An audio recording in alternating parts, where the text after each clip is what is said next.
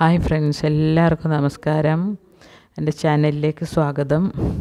ഇന്ന് ഞാൻ ഉണ്ടാക്കുന്ന ഒരു നെയ്പ്പായസമാണ്. നെയ്പ്പായസം ഉണ്ടാക്കാൻ വളരെ എളുപ്പമാണ്.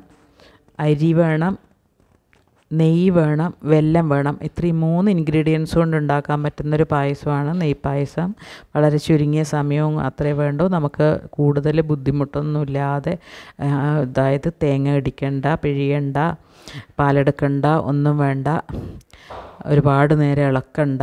ഇതൊക്കെ അത്രയും എളുപ്പത്തിൽ ചെയ്യാൻ പറ്റുന്നൊരു പായസമാണ് ഞാനിപ്പോൾ ഉണ്ടാക്കുന്നത്. ഇതിപ്പോൾ ഞാൻ അരി കഴുകിയെടുത്ത് നല്ലപോലെ അരി കഴുകി വൃത്തിയാക്കിയ ശേഷം അത് വെള്ളത്തിൽ കുതിർത്ത് വെക്കണം. അതായത് ഇരട്ടി വെള്ളത്തിൽ ഒരു ഒരു കപ്പ് അരിക്കാണെങ്കിൽ രണ്ട് കപ്പ് വെള്ളത്തിൽ കുതിർത്ത് വെക്കുക. നല്ല വെള്ളം ചേർത്ത് കുതിർത്ത് വെക്കുക. ഏകദേശം ഒരു മണിക്കൂറിന് ശേഷം കുതിർത്ത ശേഷം ആ വെള്ളം ഊറ്റിയെടുത്ത് തിളപ്പിക്കാൻ വെക്കുക. അങ്ങനെ ഇപ്പോൾ തിളപ്പിക്കാൻ വെക്കുകയാണ് ഞാൻ. അത് കഴിഞ്ഞ് ഈ അരിയിലേക്ക് നെയ്യ് ചേർക്കണം. നമ്മൾ അരി വേവിക്കുമ്പോൾ അരിയിലേക്ക് തന്നെ നെയ്യ് ചേർക്കുക. നെയ്യ് ചേർത്ത ശേഷം ഈ തിളച്ച വെള്ളവും കൂടെ ഇതിലേക്ക് ചേർത്ത് അരി വേവിക്കുക. അരി അത് പ്രഷറിട്ട് വേവിക്കുകയാണെങ്കിൽ എളുപ്പത്തിൽ വെന്ത് കിട്ടും. പ്രഷറിട്ട് തന്നെ വേവിക്കുക.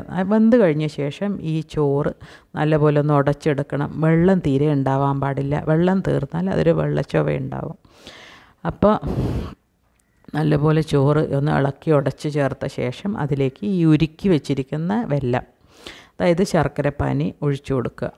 അതിന് ശേഷം നല്ലപോലെ അത് ഇളക്കി ചേർക്കുക.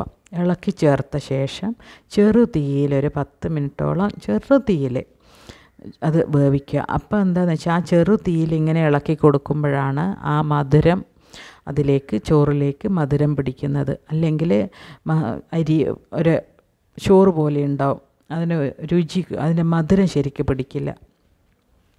ഇങ്ങനെ മധുരം നല്ലപോലെ ഇളക്കി ചേർത്ത് അതിൽ ചോറിലൊക്കെ മധുരം പിടിപ്പിച്ച് കഴിഞ്ഞ് ഇപ്പം കണ്ടില്ലേ നല്ലോണം ഇപ്പം ഇങ്ങനെ ഇളകി വരുന്നേ ഉള്ളൂ. ആ മധുരം പിടിച്ചു കഴിഞ്ഞാൽ അതിനൊരു പ്രത്യേക കാണാൻ തന്നെ നല്ല ഭംഗിയായിരിക്കും. അപ്പോൾ ഈ സമയത്ത് ഞാൻ ഓർക്കുവാണ് മാധ മാധവിക്കുട്ടിയുടെ ഒരു പ്രസിദ്ധമായ കഥയുണ്ട്. വളരെ ഹൃദയസ്പർശിയായ കഥ നെയ്പായസം. അതാണ് എനിക്ക് ഓർമ്മ വരുന്നത്. പക്ഷേ അത് കൂടുതൽ ഓർക്കാൻ എനിക്ക് ഈ സമയത്ത് തോന്നില്ല. കാരണം ഭയങ്കര സങ്കടകരമായൊരു കഥയാണത്. പലരും വായിച്ചിട്ടുണ്ടാവും. അപ്പോൾ കണ്ടില്ലേ പായസം നന്നായി വന്നു. നല്ല പായസമായിട്ടുണ്ട്. ഇത് നല്ലപോലെ ഈ മധുരമൊക്കെ പിടിച്ചു കഴിഞ്ഞ് നമ്മൾ തീ ഓഫാക്കാറാവുമ്പോൾ നമ്മൾ കുറച്ചുകൂടെ നെയ്യ് അതിലേക്ക് ഒഴിച്ചു കൊടുക്കണം. ആ നെയ്യിന്റെ മണവും രുചിയും മുന്നിട്ട് നിൽക്കാൻ വേണ്ടിയാണ് അങ്ങനെ ചെയ്യുന്നത്. കണ്ടില്ലേ ഞാനിത് വീട്ടിൽ തന്നെ ഉണ്ടാക്കിയെടുത്ത നെയ്യാണ്. അതിന്റെ കളറ് നോക്കി എത്ര മനോഹരമായിരിക്കുന്നതെന്ന്. അപ്പോൾ ആ നെയ്യ് കൂടെ ചേർത്ത് നമുക്ക് തീ ഓഫാക്കാം. എന്നിട്ട് നല്ലപോലെ ഇളക്കി ചേർക്കുക.